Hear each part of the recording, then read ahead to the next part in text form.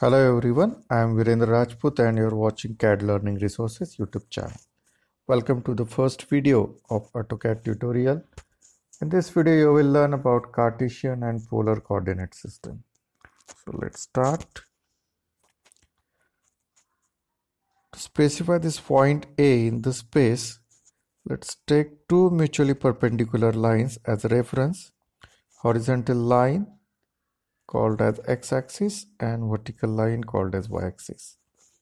Intersection of these two lines is known as origin. Horizontal distance of this point A is one unit known as x coordinate. Vertical distance of the point A from the origin is also one unit. It's y coordinate. So coordinates of point a can be written as 1 comma 1 one is x coordinate and this one is y coordinate. Both the coordinates are separated by comma.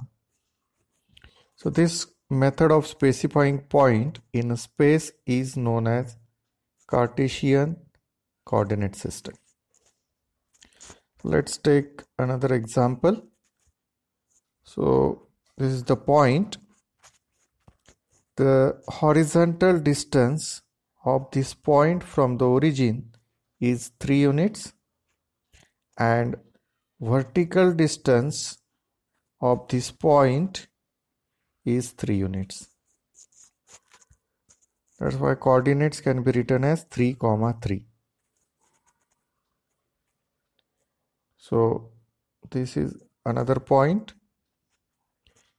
Its horizontal distance is 3 units but in the negative x-axis direction. So it's minus 3 and vertical distance of this point from the origin is 4 units. So coordinates can be written as minus 3 comma 4 similarly coordinates of this point minus 4 comma 2 so coordinates of this point minus 2 comma minus 2.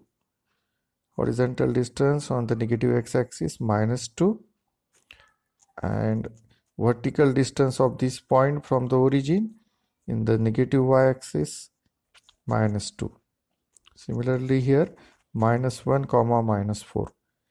Now we have to locate a point having coordinates 2 comma minus 4. So first measure its horizontal distance from the origin 2 units and y coordinate is minus 4 so obviously it will be on the negative y axis. So this is minus 4 so point will be located from here and from here. So this is the required point 2 comma minus 4 Similarly, locate the point having coordinates 5, comma minus minus 5. So horizontal distance from the origin 5 units and y coordinate minus 5. So point is located here. So this is all about coordinate system uh, Cartesian. Now let's talk about the polar coordinate system. In this system let's say a line AB having length 100 mm and it has angle of 30 degree with the positive x-axis so to specify this line using polar coordinate system we first write the length of the line passing between two points. So length is 100 mm and then we write the symbol of angle and write the value of the angle. That is 30 degree. So here we always take this angle with the positive x-axis and in AutoCAD the 0 degree is considered here and by default it measures angle anti-clockwise so in uh, polar method we can define or specify it by the length and the angle between the line and the positive x-axis.